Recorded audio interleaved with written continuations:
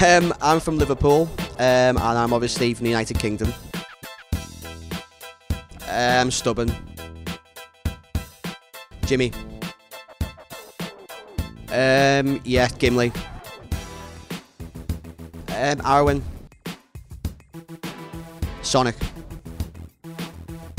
Battlezone on the Atari 2600. Run to the Hills, Iron Maiden. Probably one of the Pink songs that I can't remember, but my wife constantly plays. Loyalty. Asshole.